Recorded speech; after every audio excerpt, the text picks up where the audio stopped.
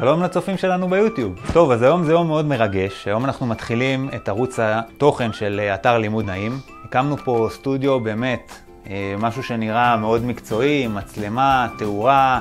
אז מה בעצם אנחנו הולכים לעשות בערוץ הזה? אנחנו הולכים לייצר תוכן מאוד איכותי לעוקבים שלנו, אתם. התוכן הזה הולך להיות זמין בערוץ היוטיוב שלנו, בפייסבוק, באינסטגרם ובערוצים נוספים. שווה לעקוב אחרינו.